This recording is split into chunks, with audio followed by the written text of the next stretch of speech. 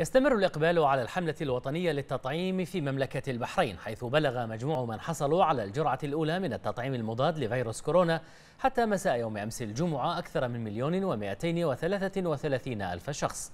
فيما تجاوز عدد الحاصلين على الجرعة الثانية من التطعيم مليونا ومائتين وستة عشر ألف شخص.